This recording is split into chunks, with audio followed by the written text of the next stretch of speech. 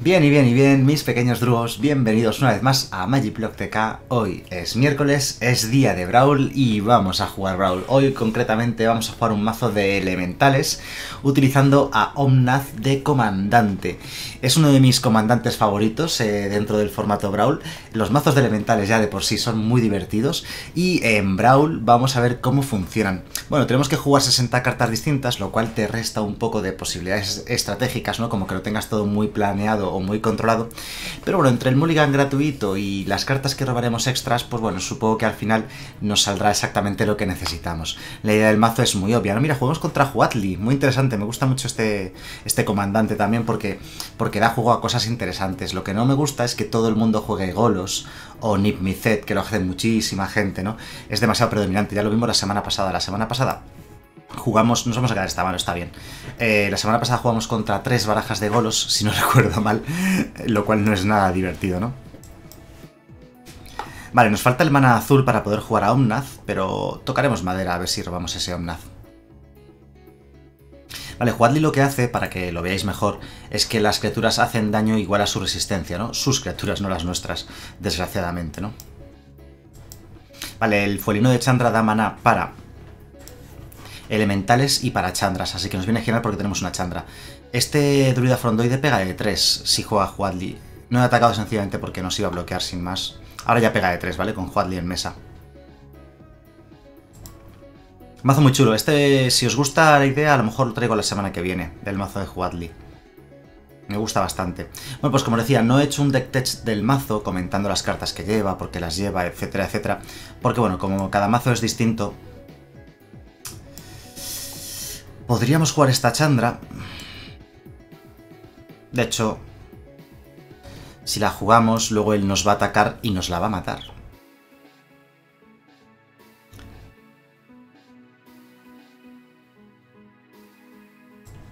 Hombre, también podremos hacer, podríamos hacer esto sobre el fuelino. Qué pena que nos falte el mana azul. Venga, vamos a jugar esto. Le ponemos el contador más uno más uno al, al fuelino. Así es un 3-3.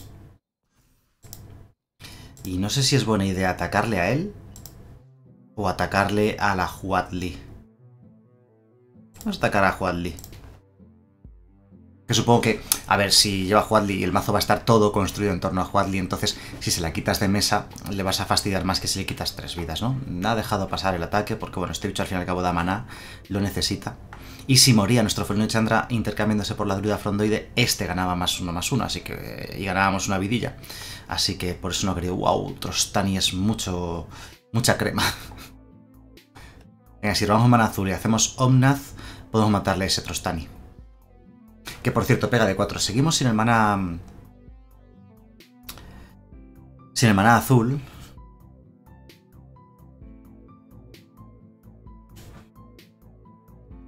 Así que vamos a optar por jugar un escupe brasas.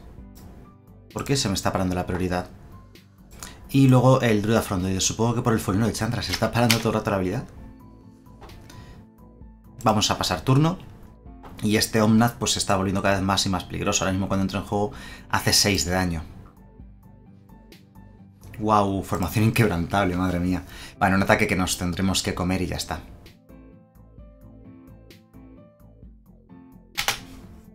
Es mucho daño, son 16, pero no tenemos 28 de vida. Así que nos lo podemos permitir. No me esperaba esa formación inquebrantable. Bueno, como podemos ver, pues obviamente al llevar Huadli de comandante, pues es un mazo Selesnia que de tokens, ¿no? O sea, yo tenía mi duda sobre qué tipo de criaturas llevaría. Yo pensaba que llevaría más bien criaturas muro, que den maná, de este estilo, ¿vale? Pero luego con esta Trostania cambia un poquillo la cosa. Ah, mira, está muy bien esta criatura en ese mazo. Vale, ya tenemos el mana azul, perfecto. Supongo que lo más inteligente... A ver, tenemos dos opciones. O matar a Huatli, que la va a poder volver a jugar, ¿vale? Porque el comandante se puede jugar luego desde el cementerio. O matarle el Trostani. Creo que le vamos a matar el Trostani en este turno, en esta ocasión.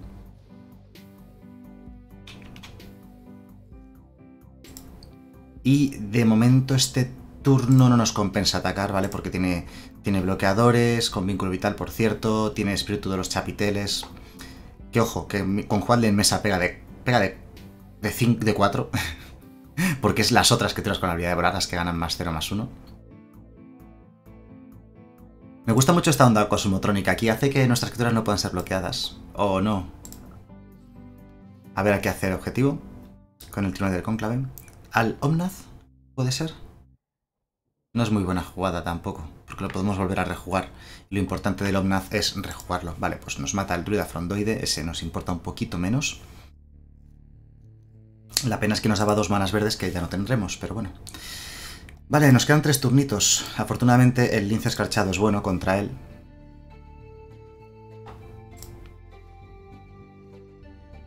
Vale, bien, bien, bien. Vamos a jugar tierra girada este turno.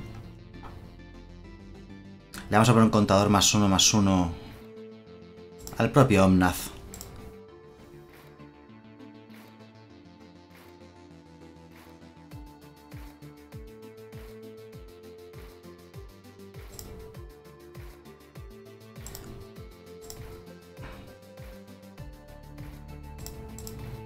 Y aquí vamos a hacer este ataque porque nos aseguramos matar a esa Huadli. Sea, decir, bueno, puede hacer bloqueos suficientes... la, la, deja morir, vale, vale, perfecto. Y el lince escarchado, cuando entra en juego, gira una criatura y nos endereza. Así que este lince escarchado a su espíritu de los chapiteles nos va a dar un poquito más de tiempo. Vale, la buena noticia es que puede... puede bueno, la mala noticia es que puede volver a jugar Huadli, pero la buena noticia es que aún tenemos 8 vidas, nos quedan dos ataques de vida por lo menos. Y como está girado, pues quedan dos turnos más.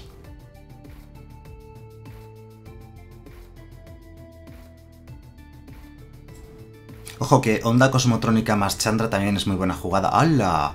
Es la primera vez en vida que veo jugar la intrusa rubita como la parte de conjuro, que se llama Bienvenida a casa. Nombre de carta que casi prácticamente nunca habéis escrito, claro. Obviamente... Pegamos 5 y 3, 8, 9, 10, 13, 15... Vamos a jugar esta Chandra.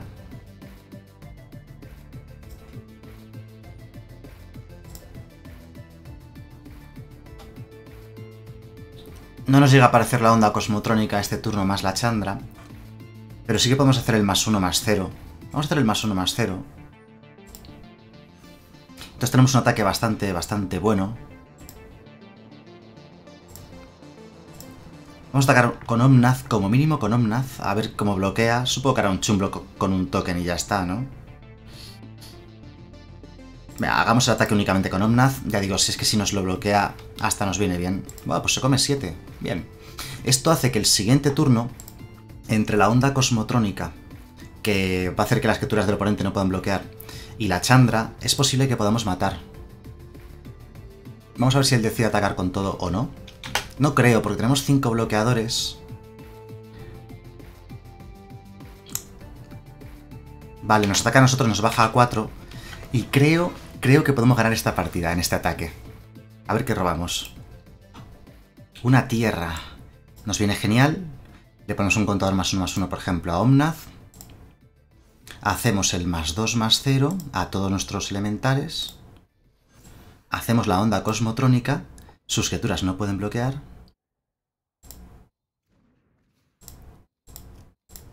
Atacamos con todo, no he echado las cuentas, la verdad. No sé si llegamos a 24.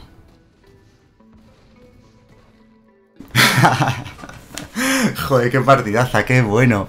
Pues no contaba con esta victoria, la verdad es que se nos había complicado mucho la cosa. ¿Cómo, mola? ha sido muy buena. Por la onda cosmotrónica, que parece una carta mala de limitado. Bueno, es que es una carta mala de limitado. Se jugaba en Gremios de Ravnica, me acuerdo, en el draft de Gremios de Ravnica, en las barajas de Boros se jugaba mucho la onda cosmotrónica, una o dos copias, porque era un mazo muy rápido, muchas criaturillas, y acababa ganando gracias a ellas. Pues mira, es lo que hemos hecho en esta partida. Qué partidaza, qué buena. Hasta el oponente nos ha, nos ha tenido que felicitar. A mí se me ha olvidado de decirle, bueno, mira, un mirror, no puede ser. Casi nadie juega Omnath realmente. O sea, es muy raro encontrarse un mirror. Salimos nosotros. Uh. Esta mano es muy buena.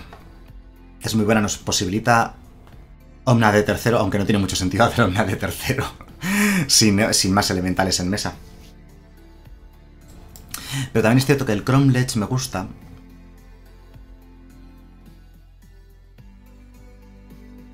Wow, al tener los dos Omnath, hace que siempre, eh, cuando uno juega un Omnath, mata una criatura del otro. Siempre.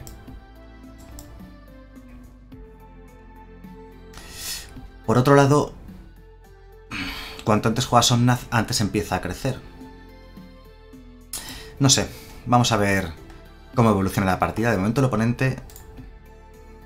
Estas fundas son feísimas. Mira que siempre me fijo en las fundas y digo que son bonitas, son feas, pero esta es feísima. Ay, perdón, Dios mío, llevo una racha últimamente... Le podemos hacer la 13-14 con el Ansamon. O sea, cuando juegues Omnath, dice, cuando Omnath eh, hace una, entra al juego, hace una cantidad de daño a cualquier objetivo igual a los elementales que controlas. Pero lo hace él. Eh, si se los subes a la mano, ¿no haría el daño? No estoy seguro, no estoy seguro, no estoy seguro. Ahora veremos si probamos esa idea. Oh, esa espiral de lava, qué feo. El problema...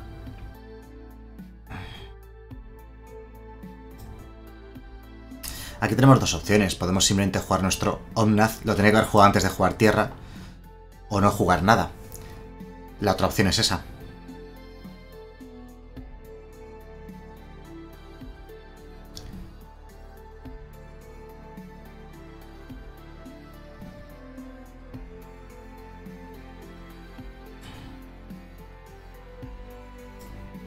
Voy a jugar a espiral de crecimiento a ver qué robamos. Mira, lo, hacía precisamente por algo de este estilo.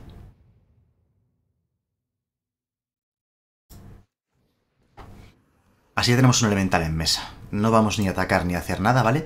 Si quiere jugar Somnath que no nos mate nada. A este no le puedo hacer objetivo porque tiene antimaleficio y este aguanta dos. Vale, de hecho no lo hace, no juega su Omnath, pero ya va a tener dos. Nuestro Omnath ahora sí es bueno, en cambio.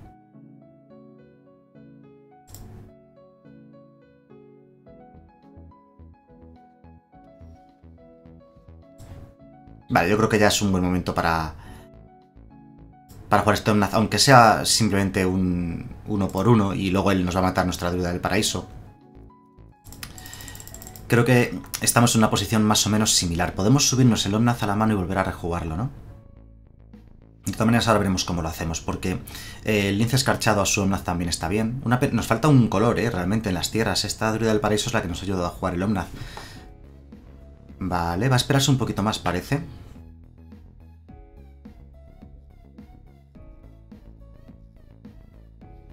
Wow, vale. Resistencia menor que la resistencia del despertador tronoide. Puede recuperar esa vidente nimboide. Eh, como os decía...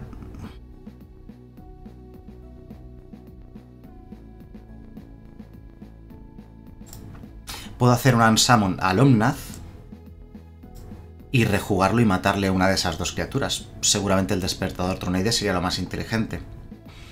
Otra opción es jugar un Gran Kronech. Ojo, tenemos para el Gran Kronech, no me he dado cuenta. Es que con el Kronech ganas.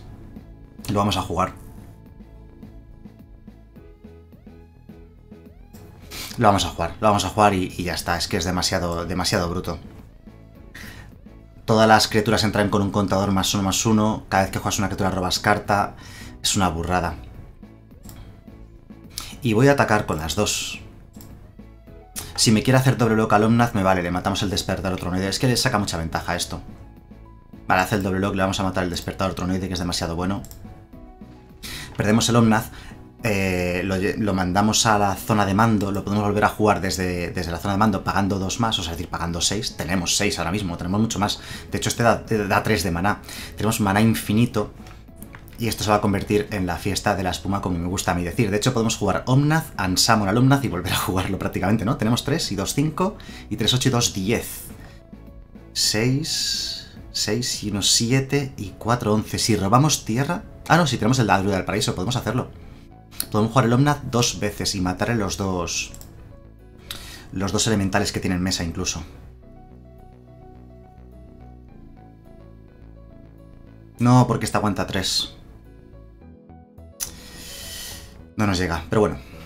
También era una jugada un poco, un poco tonta, ¿no?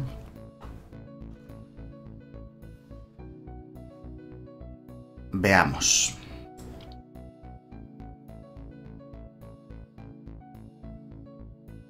Sí, yo creo que podemos comenzar con Omnath. Le vamos a matar el mental de la espesura, que da, da bastante ventaja. Le matamos el mental de la espesura. Buah, qué partidaza. Buah, es que es que este, este Ledge es brutal en este mazo. Podemos, podemos, podemos o jugar Druida Frondoide. Sí, es que de hecho lo podemos hacer todo. Salvo que él tenga un removal masivo y aunque lo tenga, es que el Grand Crunch nos va a dar tal ventaja. Va a ser, va a ser un, flujo constante de cartas. Mira, sales ahora, ¿eh? Venga, vamos a jugarlo. Podríamos jugar el quema caminos tenaz para tener más ataque. Y aún así es que nos queda, nos queda un Ansamon para poder rejugar el Omnath si queremos más adelante. vale, nos mata eso. Contábamos con ello, no pasa nada. Ponemos tierra en juego girada, porque la pone girada, de hecho, obligatoriamente. Y contador más uno más uno sobre el sanador del claro. Vale, golpe altanero. ¡Uh, qué pena! Qué pena que estemos totalmente girados, porque ya si le hacemos golpe altanero a su Omnath, le hundíamos en la miseria. Va a conceder, ¿eh? Yo creo que el oponente va a conceder eh, en, breve.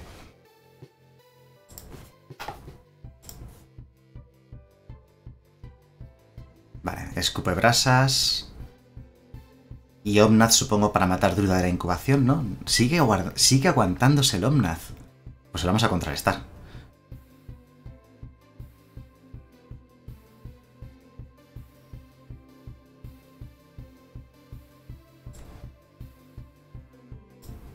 Elemental de la espesura. Contador más uno más uno sobre... Venga, sobre el Dura Frondoide para que pegue un poquito más. Espiral de lava también. Quema caminos tenaz.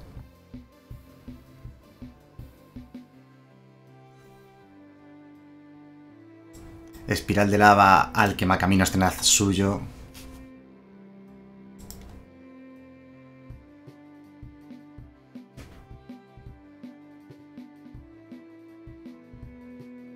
A ver, parece que tiene algo. Oh, un coloso, sí que no me lo esperaba. Más 4 más 2. Venga, pues súbetelo la mano.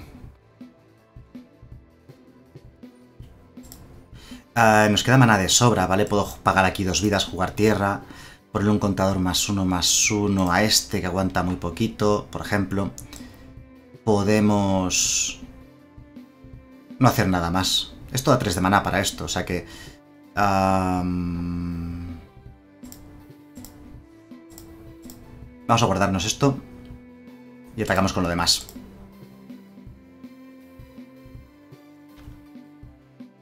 O sea, lo que podría haber hecho es jugar el sello arcano con la druida del paraíso y esta tierra. Y tenemos mana de sobra. Sí, lo vamos a hacer. Vale, hace ahí un chumblock.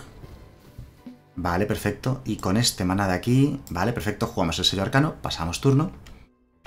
Y salvo sorpresa, golpe altanero. Bueno, es que da igual si es que aunque haga Lomnath, hace dos daños. Fijaos qué mesa tenemos. Es que nos da igual que haga Lomnath. Y no creo que tenga ningún efecto tipo ira de Dios o algo similar. Y aunque lo tenga tampoco sería...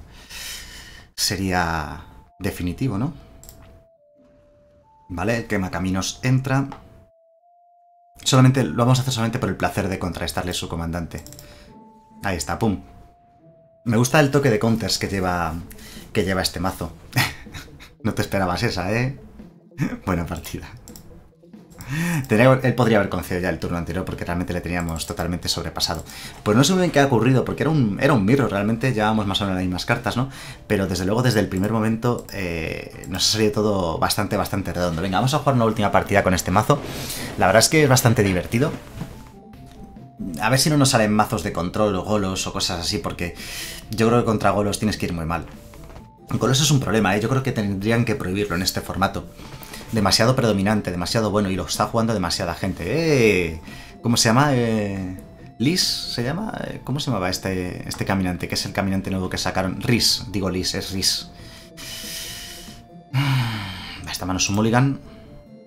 Tiene un problema de base de mana este mazo, obviamente. Nos falta azul, pero nos la vamos a quedar porque solo tenemos una carta azul en mano.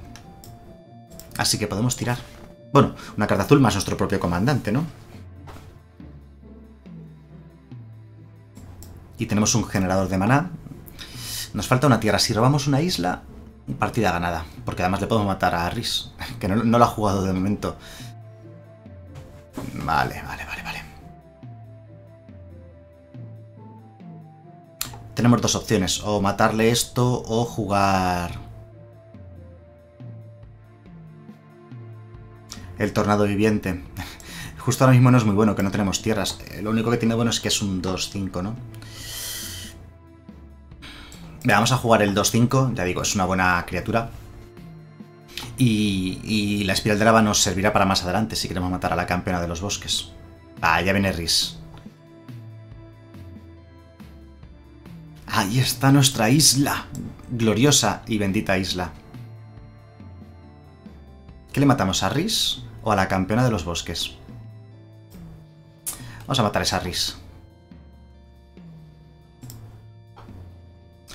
El problema puede ser si tiene, por ejemplo, un dar la alarma. ¿Lo hace indestructible? Sí, lo hace indestructible. Más uno, más uno e indestructible.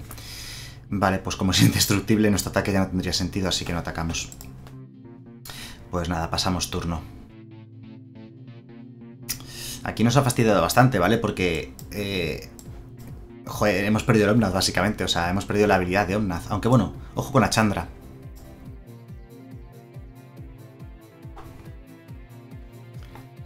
Se ha girado entero, o sea que no va a poder poner tokens. Este turno al menos.